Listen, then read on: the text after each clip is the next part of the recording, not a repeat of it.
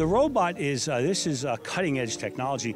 The robot is the only one like it in the world. The machine is uh, called Albert. Uh, it, it, got its name by its uh, first print. We printed a portrait of Albert Einstein.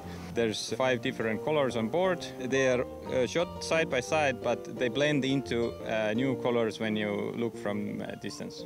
Well, the Downtown West Orange Alliance has long been after getting some wall murals painted on buildings downtown. This one that you see here is uh, depicts a street scene here from a 1920s postcard in, uh, uh, in downtown West Orange at Tory Corner. The 100,000 visitors come every year to the Thomas Edison National Historical Park, and one of our goals in the Downtown West Orange Alliance is to keep those people here. What we did in the background, we put in the phonograph which is his unique invention to mankind.